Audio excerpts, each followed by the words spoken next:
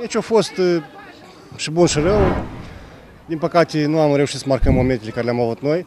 Am marcat adversarul. Și cam asta e. N-am reușit astăzi să folosim momentele care le-am avut.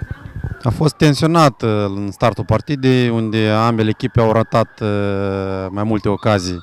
Uh, Realizarea a fost punctul principal? Uh, Cred că da. Am avut și noi ocaziile chiar la 0-0. Cred că dacă marcam meciul ar fi putut să aibă o altă turnură.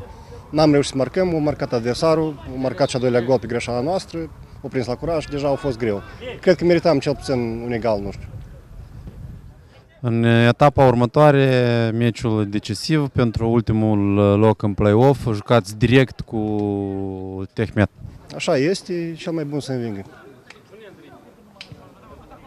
În meciul cu Volta, Mihai Țurcan a riscat să nu evolueze în, într-un meci decisiv. E- A fost un risc mare Noi am jucat la victorie. prin alunecarea din la finalul meciului. Uh, Mă rog, uh, spiritele erau încinse, probabil Mihai Țurcan uh, a reacționat pe bază de impuls de moment, așa a fost faza.